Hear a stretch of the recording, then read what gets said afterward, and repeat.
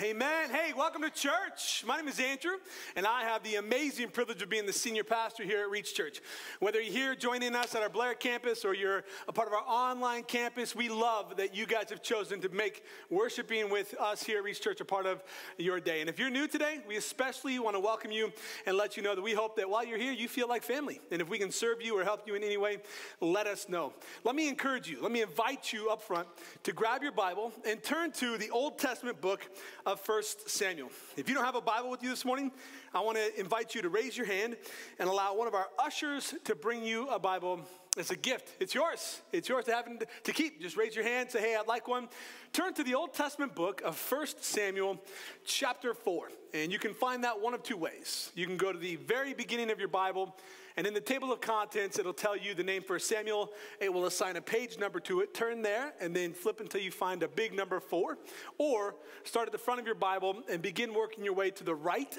After just a few books of the Bible, you will land in First Samuel. And today, we're picking up in a study of First Samuel that we've been in, but we're starting a brand new series. We're starting a brand new series today that we're calling Defeated. And we're going to be looking at defeat over the next several weeks together as a church. As a kid growing up, I was so blessed to get to play a lot of different sports. I played baseball for 11 years. I played football, junior high and high school. I wrestled from junior high through college, and I loved it. But there was also this thing as a kid that I did where I would find my favorite players or my favorite position and the, the players that played that position, and I would begin to study how they did what they did. That, in and of itself, is not inherently bad. In fact, I encourage my children that are involved in any activity, whether it's sports or music or anything of its kind, to, to look at how other people do what they do, how they have honed their craft, how they have become skilled experts at what they do. But there's another thing that I still see happening on playgrounds and in gymnasiums the country over. And it's what happens not necessarily in the game, but before the game. People, kids, even adults, want to emulate, they want to replicate what their favorite athlete is doing. And so they'll dress like their favorite athlete and they'll pick up on mannerisms of their favorite athlete. I've got something I want to show you today as an example. If you are a fan of basketball at all, and you have watched any basketball since the early 2000s, there's a player, number 23, who started his career with the Cleveland Cavaliers, his hometown team. And before each game, he would come out of the tunnel and would head to the scorer's table. There he would pick up a, a bottle of chalk. And in that moment, the Cleveland basketball arena would begin to build, it would begin to swell. There would be a shift, a tangible, palatable shift in momentum. People would pull out their phones and music would begin to, to increase in volume and the pressure could be felt in the arena. And this player would take the chalk and would begin to put it on his hands. And as he did, he would set the chalk back down on the scorer's table and leaning over, he would draw the attention and, and the allure of the audience, of the fan base, both in person and watching televised. And you knew in that moment as he took his hands together and he threw it up in the air that it was game time. LeBron James, wanna Michael Jordan. You don't have to be a sports fanatic to even pick up on that visual illustration. It's so synonymous with the player, with the person of number 23, LeBron James. There was actually a season in his career where, when he got to Miami, he, he stopped doing that. He was surrounded by other all star players, and, and I don't know the, the, the rationale of the reason, but he didn't do that. And do you know that he got backlash for that? There were fans the world over that were reaching out to LeBron, and especially if he was in a shooting slump or they began to lose games. And they would insist that he needed to bring back the pre game ceremonial chalk throw. That if he would do that, they would start to win. They actually believed, they carried this superstition where they thought that if they did this, that somehow their team would, would play better. Now, let me ask you a question. Apart from the person, what value add is there in the dust, in the chalk, in the smoke? Yet, how many people, how many people actually look on and find more value in the show than in the person playing the game?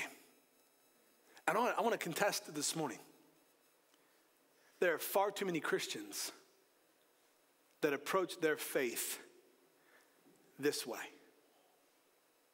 There are far too many Christians who care more about the religious rituals than they do an understanding of a right relationship with God. And if we're not careful, we end up worshiping the wrong thing and give ourselves over to idolatry. And we're going to see today in our study of 1 Samuel how, how easy it is to become complacent and lose sight of the person that matters most in favor of religious rituals. Well, Heavenly Father, thank you for this morning. Thank you for this time that we have together. Thank you for Reach Church. Thank you for your word that we absolutely believe and hold to, that is active and that it's alive, it's complete, it's entire, it's perfect. Thank you that as your word goes out, it doesn't return void. And as we lift your name up, you, you promise to draw all people unto yourself. And so, Lord, I just pray this morning that I would be conduit, that you would meet us where we're at, help us to encounter you so that our lives would change forever. May the words of my mouth and the meditations of our hearts be received as a gift, holy and pleasing to you alone. God, I, I beg you that you would use me today in spite of me. I pray that I would preach with authenticity and, and, with accuracy, rightly dividing your word in ways that matter and make sense. And help us, Father. Help us, convict us. Each and every one of us. Holy Spirit, we invite you to work in our lives.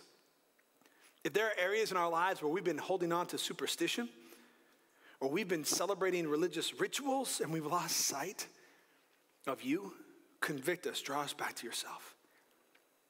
We give you this time, Lord, for our good and your glory. In Jesus' name, amen. 1 Samuel chapter 4, verse 1. And Samuel's words went out to all the people of Israel. So, what were Samuel's words? Well, I'm glad you asked. It's not on the screen, but it is in your Bible. 1 Samuel chapter 3, beginning in verse 19. As Samuel grew up, the Lord was with him, and everything Samuel said proved to be reliable. And all Israel, from Dan in the north of Beersheba in the south, knew that Samuel was confirmed as a prophet of the Lord. A prophet means an ambassador, a spokesperson who is a truth teller. The Lord continued to appear at Shiloh, there at the tabernacle, and he gave messages to Samuel the prophet there at that tabernacle. And Samuel's words went out to all the people of Israel. Not to Eli the high priest, not to Hophni and Phinehas the priest, but to Samuel this young boy whose life was dedicated to the service of the Lord. There, God would show up and he would give the word of the Lord as he did to Moses as a mediator between God and the Israelites, now using this prophet, this man of God, to be a truth teller and an ambassador, a spokesperson on his behalf. In verse 1 of chapter 4, the second part, at that time, Israel was at war with the Philistines. The Israelite army was camped near Ebenezer, and the Philistines were at Aphek. Well, there's a couple of things that we have to ask and that we can kind of assume. War was really commonplace at this time, and it doesn't give us indication as to what type of war, but historically, it's a territorial war. And when you look at the region and you consider the cities that are brought up, Shiloh is where the Israelites are primarily located. It's about 18 miles to Ebenezer and about 20 miles to Aphek. The Israelites are known as a mountain people. They're literally, uh, they're, they're known as, as, as, a, as, a, as, a, as a mountaintop people group. They, they, they hide out in the mountains and on hilltops.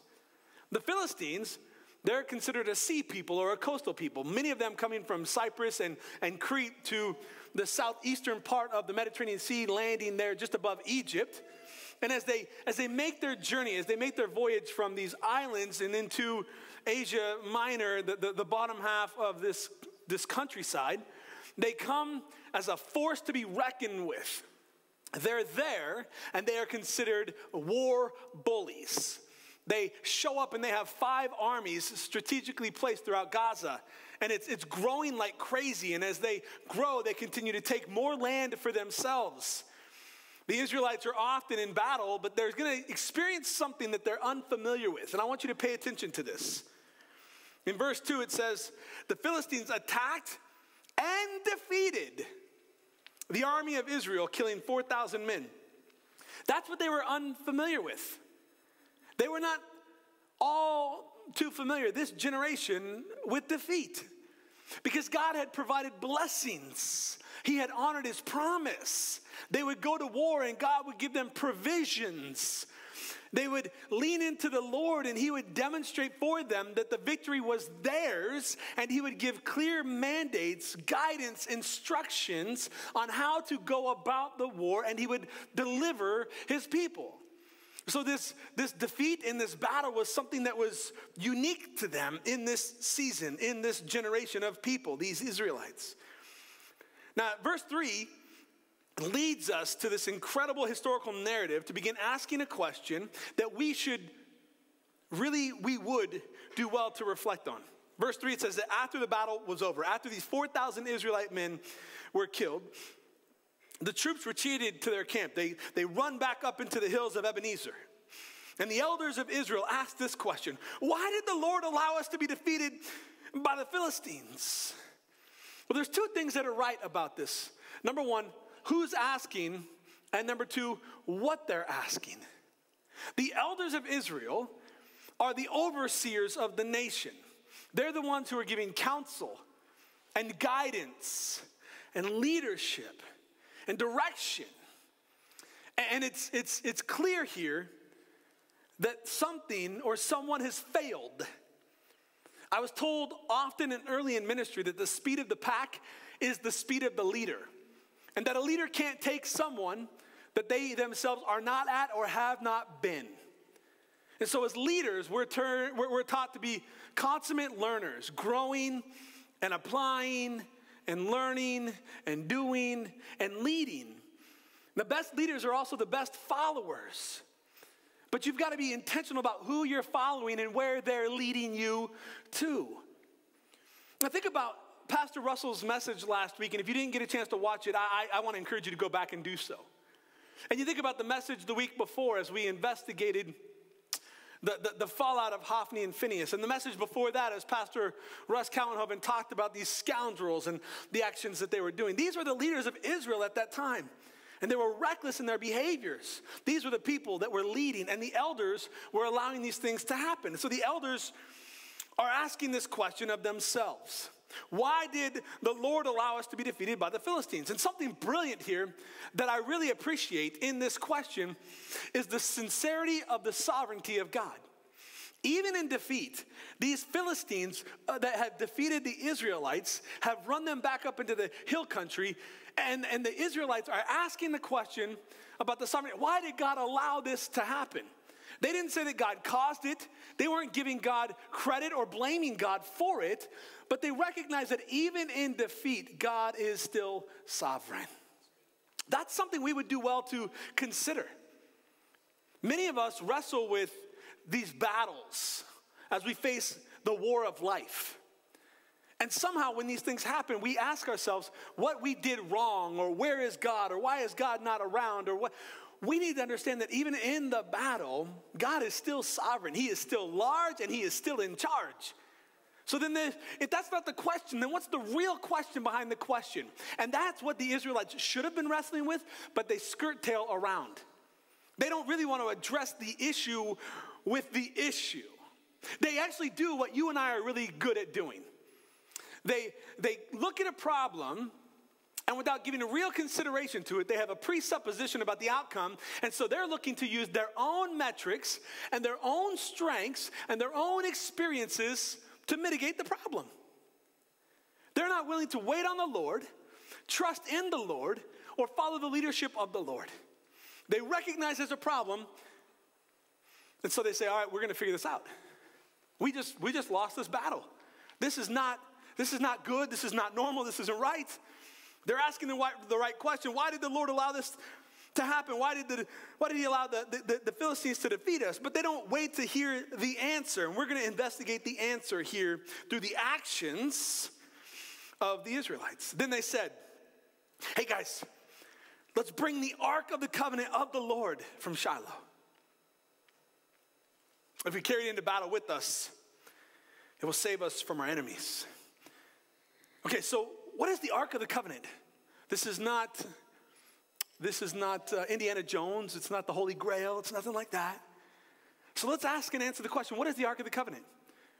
There's a brilliant New Testament historical evidence of what it is. If you want, I'd encourage you to keep your finger here and turn almost all the way to the very end of your Bible to the New Testament book of Hebrews. Hebrews chapter 9 is where we're going to be. Hebrews chapter 9. Hebrews 9. And if you don't have time to, to get there right now, just write it down as a parallel passage. We're going to look at Hebrews 9, specifically verses 1 through 4. If you're there, say amen. If you need a minute, say, I need a minute. All right, I'm giving you a minute. All right, that's about a minute. Hebrews 9 1.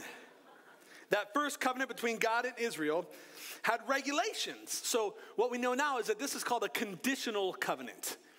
That God will enter into a mutual agreement between his nation, his people, uh, the Israelites, and, and, and himself. Moses will act as the mediator, the ambassador between God and the, and the nation of Israel.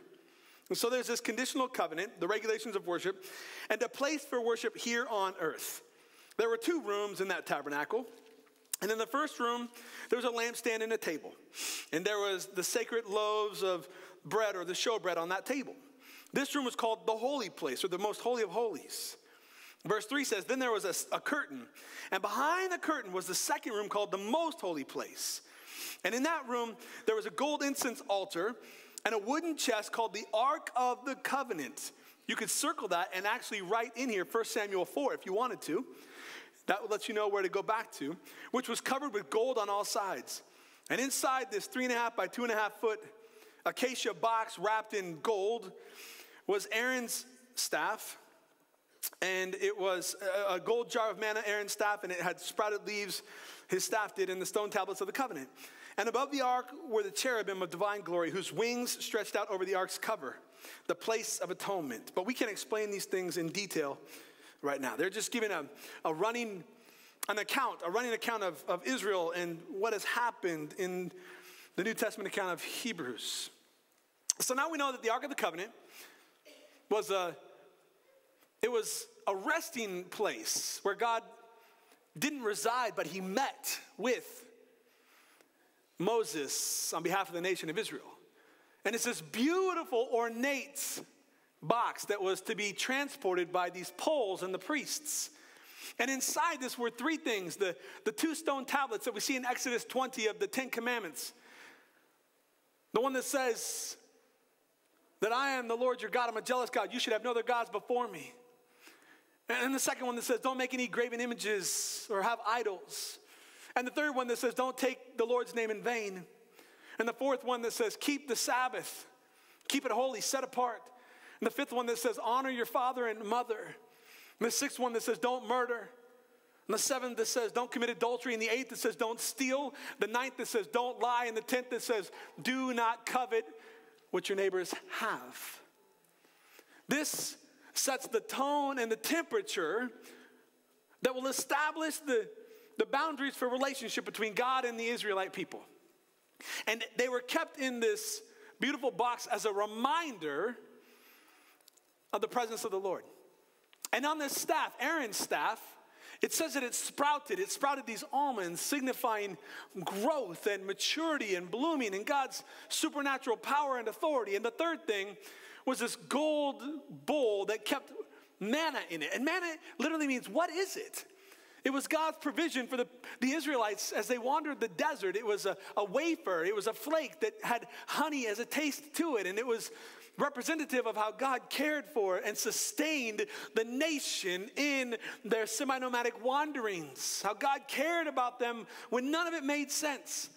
And He used it as, as a remnant, as a reminder of, of the person and the character and the nature and the promises of God. But the box wasn't God. The box, the box was just a representation of the place on what they called the mercy seat, where God would come between the presence of the Lord would come between these two cherubims and would rest, and there would give Moses or the priest the, the, the instruction on behalf of God to the nation of how they were to live and lead and love. So, what's the problem?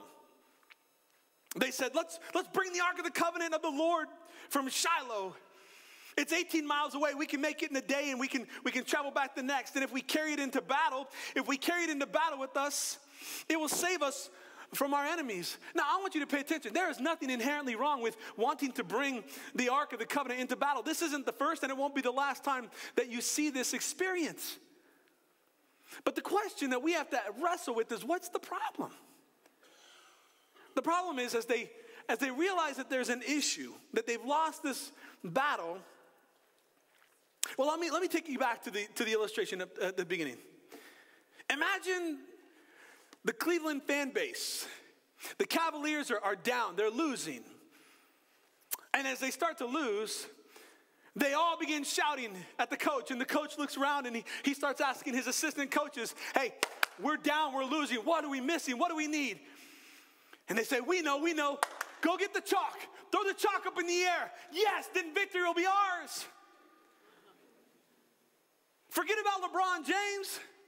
No, I mean, really, forget about LeBron. He's not that great. But all things considered, all things considered, without the man, LeBron James, to receive the ball with three seconds left, down by two, to either take the three to win the game, or to go in for the two to tie the game, or to go in for the two plus one and win the game with, the, with a foul shot. Without that man, what good is the magic? What good is the, the cloud of, of, of, of chalk? It's really pointless, isn't it? Yet this is the problem. The nation of Israel is under attack. And rather than calling out for God, they call out for their religion, for their relics, for their, for their rituals. They didn't, they didn't request that the elders would go to, to Eli and to Hophni and Phinehas and to Samuel and, and on their behalf beg God to intercede for them. They said, just go, just run to Shiloh and go, go get the magic juju. They were viewing the things of God as little more than good luck. And they thought, man, if we could just if we could just get our hands on the Ark of the Covenant, we'll be all right. And we can look at them and we can say, how, how ludicrous does that sound? That's lunacy. We know that the power is the power of God. It's the sovereignty of God. It's the Spirit of God. It's not, it's not in the process, it's in the person of God, right? Yet, how many of us come to church week after week ready for our religion? Well, stay with me now. How many of us come to church and we want that song? No, not, not that song, that song sung. And we want it sung in this key. Because that key's too high, the other key's too low. And, and, and we, man, when we struggle, we, we need a word from the Lord. So when we say word from the Lord, you know we don't turn? We don't turn to the word of the Lord. We turn to somebody to tell us what the word of the Lord says. Man, last week I was struggling. I needed a word from the Lord, and God gave me Russell. This week I'm struggling, and I got, I got stuck with Andrew. That's all right. We have a YouTube channel. You can go back and watch it on rerun. I'm okay with that. Man, I just, I just need a pick me up. If I could just, if I could just, man, I just, if I could just get to church and sit in my seat well, you came on the right day. Daylight savings and a lot of rain and spring break. You got your pick. Man, if I, if I, if only I could just get involved in that ministry at church, I'd feel really good. If I, if I could get a Stephen minister, if I could, if I could be a part of upper room counseling, or maybe, maybe if I start doing some stuff for God, He'll bless me. I'm gonna start helping out with youth group. I'm gonna, I'm gonna help out with children's ministry. I mean, it might be a little bit like purgatory, but I'm, I'm gonna do it because I, I, deserve it. I deserve it. And, and, and, and that Go Grill? Oh, you Go Grill. You know I'm putting my name was it Go Grill at reachchurchne.org. You, I'm, you, wedding, all of a sudden you're having bar mitzvahs, you're having bar mitzvahs, you're having quinceañeras, you're having, like, you're, you're celebrating everything. Celebrating Valentine's Day and St. Patrick's Day. You're not even Irish. Stop it.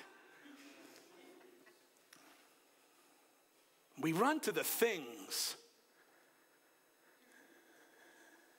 to the religious relics and we lose sight of the right relationship. This isn't unique to us. And do you know how it happens? Come on, lean in. I'm gonna, I'm gonna give you this today for free. Complacency. Complacency. Satan will literally use your comfortability to keep you from following your convictions of Christ. Uh, I'm doing pretty good right now. I don't, I don't need to be at church. You don't have to have to go to church. I can, I, I, I, can get church anywhere. I can literally search the world over and have the best communicators at my fingertips. I don't need to be at church. You're right. I don't have to go to church to be a Christian. No, but the Bible says that if you want to honor God in all things, that you come to the body. Don't give up meeting as some are in the habit of doing. So you don't. It's not a prerequisite to be a Christian to go to church, but coming together as a collective body is a byproduct of your salvation. But we get comfortable. Well, I like attending church at home in my pajamas. And if you guys would let me to come in my pajamas and serve me bacon and eggs like my wife does when you're preaching, I might consider it. Well, we got the Go Grill. We'll might maybe give some consideration to it. How many of us, how many of us, if we're really honest, we start to lose sight of God when things are going good? And then when we start to experience struggle, we don't run to God. The enemy actually has us fooled. We think we're running to God, but we're actually running to the religious relics and not the relationship. That song can't save you. As amazing as our band is, they can't save you. No matter how gifted any of our communicators are here, uh, on here, we can't save you. That seat can't save you. None of the ministries of this church can save you. Everything Reach Church does is a byproduct of a community where people encounter Jesus and their lives are changed forever. So everything we do is a byproduct of that transformation. The Israelites have become complacent. And they say, We're struggling. Go, go, go, go. Yeah, everybody's leaning in. Yeah, here we go. Yep, go to Shiloh. Yeah, go to the tabernacle. Yeah, we're going to get. Oh, we're going to get the box. Okay. All right, cool. Verse 4. So the elders sent men to Shiloh to bring the ark of the covenant of the Lord of heaven's armies, who is enthroned between the cherubim. Hophni and Phinehas, the sons of Eli, were also there with the ark of the covenant of God.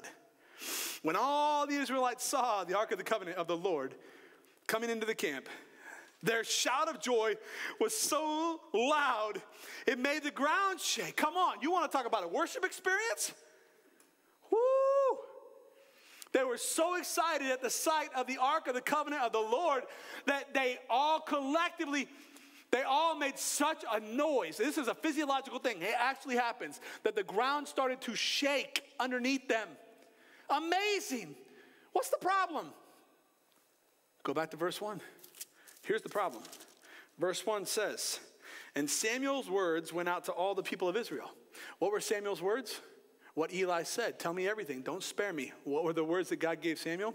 Hophni and Phinehas, scoundrels, scums. They're going to die. Oh, and by the way, so are you. And it says that Samuel's words went out to who? To the whole nation of Israel.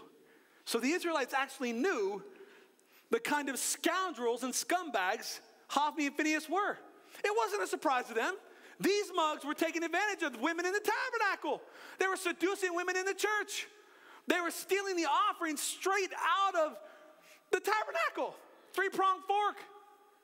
Well, but that's for God. No, no, no, no. God's got plenty. This is mine. That's mine too. And if you don't do it right now, I'll just I'll just come take it myself. And Eli, Eli wasn't exempt. No, he wasn't seducing women like like his sons were, and he wasn't stealing like his sons were. But the man of God came to Eli and said, You know what your, what your sons are doing. They're wicked. And what did Eli do? A sin of omission. What is omission?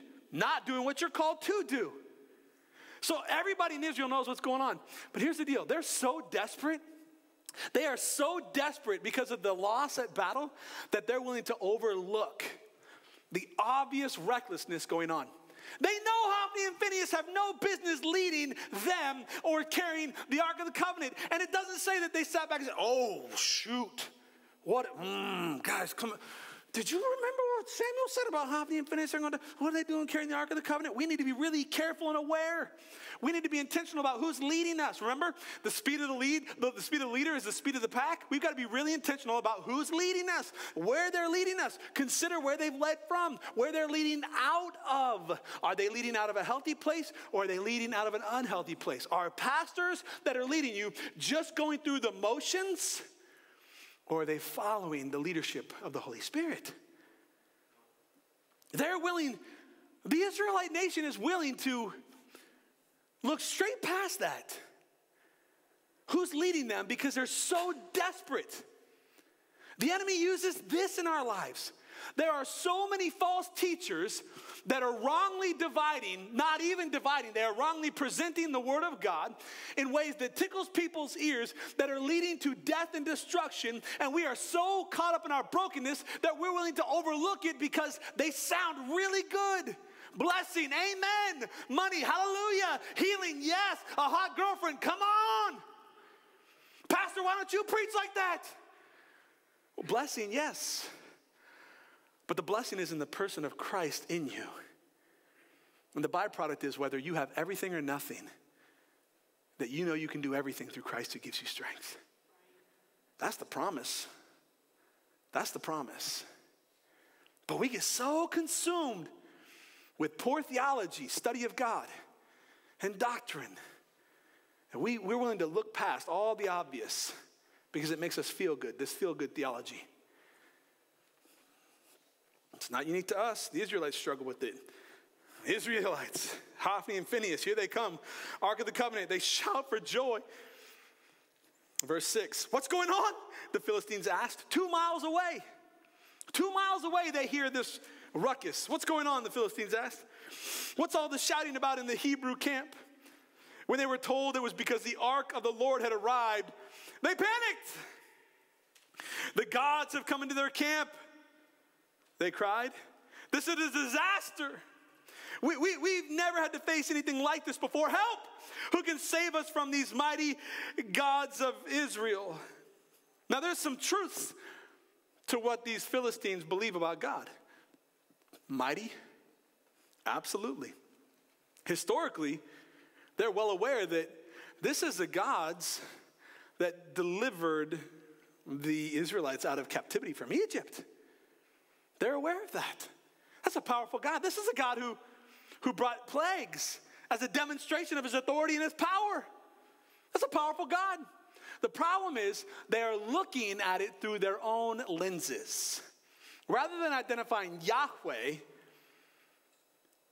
rather than identifying I am that I am, ego eimi, Rather than identifying this comes from one singular monotheistic God of the universe, creator, author, perfecter, and finisher of our faith, they look at it through the lens of their lives. The Philistines were polytheistic. They had a God for everything. And if they didn't have one, they would create one. They had Asherah poles. They would carve out graven images in rock and stone. They would melt down fine metals and they would make these beautiful, ornate gods, little g deities to worship and you don't have a God over there, but you, and they could call on these gods for different reasons at different times, and you could even mix and match them, and all kinds of things were going on. And so they look at Yahweh through the, the lens of their secularism, and it influences. There's some truth to what they're saying, isn't there? It was God who delivered the Israelites from the Egyptians. It is God who is sovereign. It was God who brought, who brought these 10 plagues as a demonstration of his power. There's nothing wrong with that truth. The problem is it's a distorted truth because they're looking at it from their own lenses. We need to be careful not to interpret the Word of God from our own lenses. Our teaching team here, we are so blessed with the amazing communicators God's given us But we have a term that we use. It's a Latin term, sola scriptura, which literally means let the word of God do the work of God so that we can be in the will of God. We allow the text to inform us and to transform us. We allow the text to interpret the text. Sola scriptura. Because if we don't, then what we do is we end up parsing out the scripture and compartmentalizing it, and we make it say things that it was never intended to say. I've said this before, I just want to show you how easy it is. And it's an amazing passage of scripture. For I know the plans I have for you, declares the Lord plans to prosper you and not to harm you, plans to give you a hope and a future. I need that. I need that hope. I need that future, and I rest in that promise. I'm sorry, are you under complete slavery and captivity to the Babylonians right now? Have you been exiled from your home, driven from everything you know, lost your, I mean, literally, your house is burnt down, the place of worship completely shambled, the, the, the rock wall that separated torn in half, losing family and friends and jobs, and now you're forced to live in a foreign land as a complete captive? No. Because that promise is, it's descriptive for the nation of Israel who is literally living under everything I just said. So we've got to be careful. What it does do, it may not be a promise for us, but it reveals the nature of God and his character in us. We know that our God is a good God. And we can look at that and say, we know that God provides and that God restores. In fact, that's, that's the meta narrative of Scripture from Genesis to Revelation. If anybody ever asks you this question, what's the Bible about? The Bible is about restoration from Genesis chapter 3 to Revelation 26. The meta narrative of Scripture is restoration. That is just another promise of God for restoration. And so we have got to use sola scriptura, let the word of God do the work of God so that we can abide in the will of God. Let's stop looking and parsing scriptures and compartmentalizing it and making it say something it doesn't say, because then you live a very, very, very dangerous type of faith. You're leaning on your religious rituals rather than a right relationship.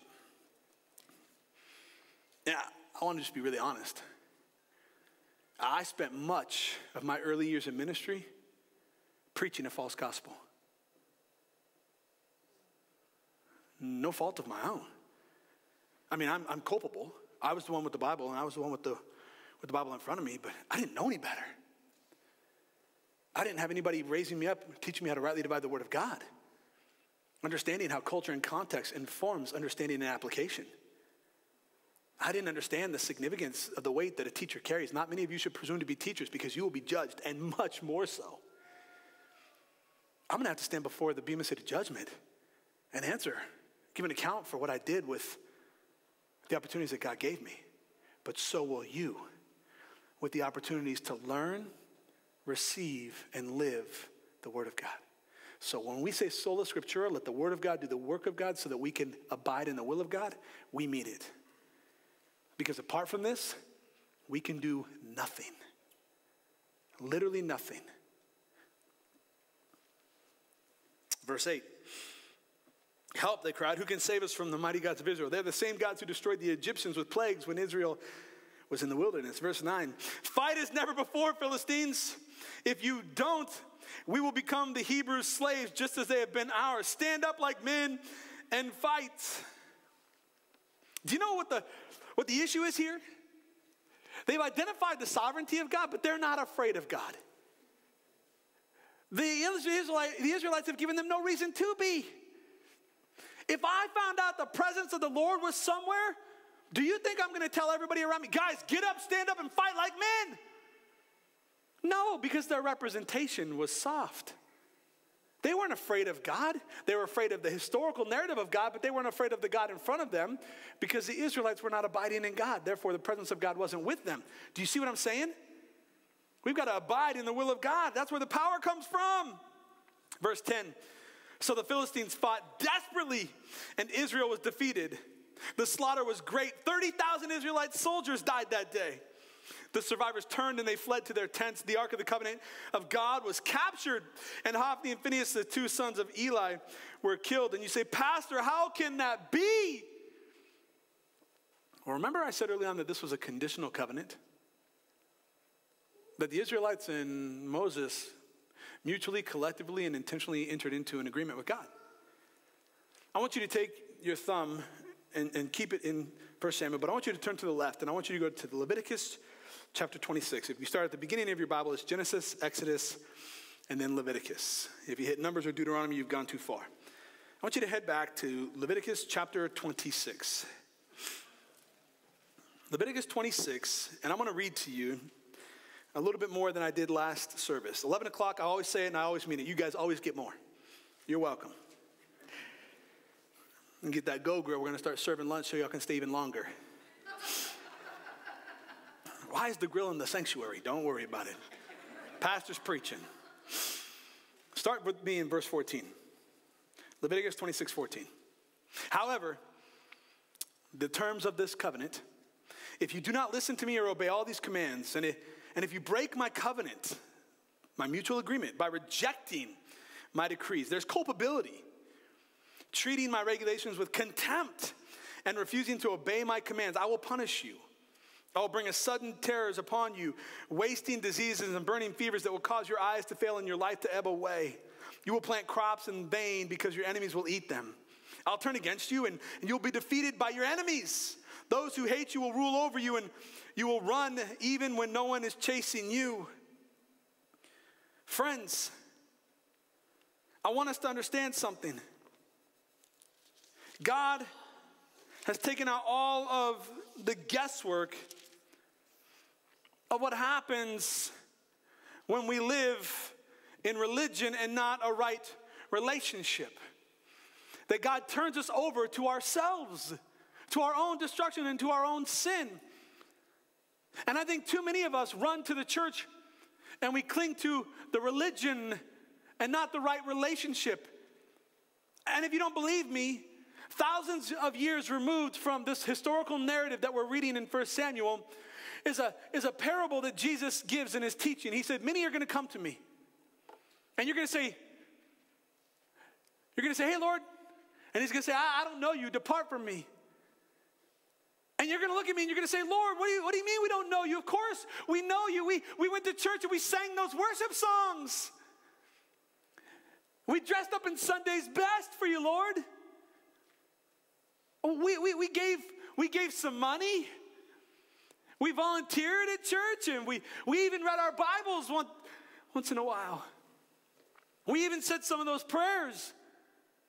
Lord, we were, we were good. We were, we, we were moral. We were upstanding and right. What do you mean we didn't know you? And Jesus says, Where were you when I was hungry and thirsty and naked and, and, and, and in the hospital, sick and in prison? And they look they look with absolute shock on their faces. Jesus said, Lord, when did we ever see you hungry or thirsty or, or naked or in the hospital sick or in prison? And Jesus says, You say you love me and you've done all of these religious things, but to truly love me is to obey my commands. Love the Lord your God with every fiber of your being and love your neighbor as yourself. Whatever you've done to the least of these, it's though you've done it to me.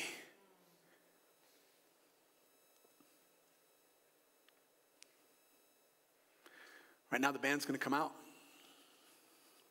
And Terrence and Rachel and Rob, Caden, and Jessica, and Brian and Austin.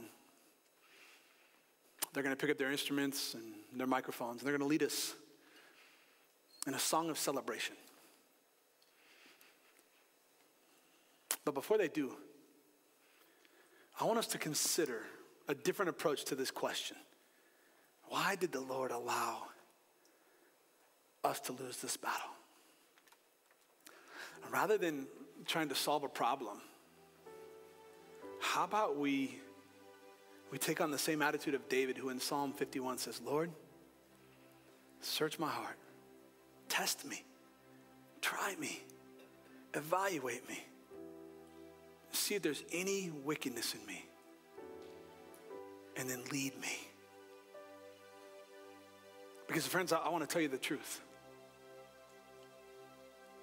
As much as we love to sing praises to our God, it can all too often become about what we think of the song. Do we like the tempo? Is it a good beat? Does it have that good driving bass that you can feel in your chest? Is it too much bass that makes your head hurt? Is a pastor going to preach a message that entertains me? I've said this before. I'm not joking. I truly, I, I, when I, when I, whenever I teach hermeneutics, which is how to present the, the Word of God, I, I, literally think of this all the time. Ask my staff. We, we wrestle with this idea. I, I feel like Gladiator. Are you not entertained? That's a real struggle. So even in my heart, I have to say, Lord, test me and try me. When I go up to preach today, God, I don't want to do it for the applause of man. I want to do it out of sacrificial obedience to who you've called me to be and what you've called me to do. And just so you know, the day that I stop praying that prayer is the day that you stop following me. Because it means I've lost sight of what matters most, who matters most. So we're going to sing a song. And the words are going to come up on the screen, and I want to encourage you to do something different. I want to encourage you right now to ask God in the same way David did to search your heart and stop running to the religious rituals. Because no song is going to save you, no pastor is going to save you, no ministry of the church is going to save you, no go grill is going to save you. It might save your graduation party, but it's not going to save you for eternity. This right here, just a bunch of hype, just a bunch of smoke and mirrors. If if it's not a byproduct of our great God. I want to read this historical psalm to you in closing. Psalm 78, Asaph, verse 52. A historical poem accompanied by music to celebrate the person and the priority of God, even when you've lost your way. Psalm 78, beginning in verse 50, 52. But he, God, led his own people like a flock of sheep, guiding them safely through the wilderness. He kept them safe so they were not afraid. And the sea covered their enemies. He, he brought them to the border of his holy land, to this land of hills he had won for them. He had won for them. He had won for them. He drove out the nations before them, and he gave them their inheritance by lot. He settled the tribes of Israel into their homes. But they kept testing and rebelling against God Most High. They did not obey his laws. They turned back and were as faithless as their parents. They were as undependable as crooked bow. They angered God by building shrines to other gods, and they made him jealous with their idols. And when God heard them, he was very angry and he completely rejected Israel. Then he abandoned his dwelling at Shiloh, the tabernacle where he had lived among the people, and he allowed the ark of his might to be captured. He surrendered his glory into enemy hands, and he gave his people over to be butchered by the sword because he was so angry with his own people, his special possession. because they were just going through the motions and they had contempt. They had contempt for God. And so let's talk about this religious ritual and what God truly desires of us. And I leave you with this Psalm 51, verse 12. Restore to me the joy of your salvation and make me willing to obey you. Not sing to you, not give to you, not go to church, not do enough. The Bible says that we are saved by grace through faith, not by works, so that none of us can do enough and take credit for it. So then, what does God require of us? Obedience, not good luck, God. Then I will teach your ways to rebels, and they will return to you. Forgive me for shedding blood, O God who saves. Then I will joyfully sing of your forgiveness. We sing out of our salvation, not for our salvation. Verse 16, you do not desire a sacrifice, or I would offer one. You don't want a burnt offering. The sacrifice you desire is a broken spirit. You will not reject a broken and repentant heart, O God if you have been guilty, like I have, of running to religious rituals in place of a right relationship with God, the only thing we can do, not the best thing, the only thing we can do is repent. To acknowledge it before God, to call it what it is, to say, I'm sorry, and to turn from it. And to turn your eyes to Jesus, the author and the perfecter of our faith.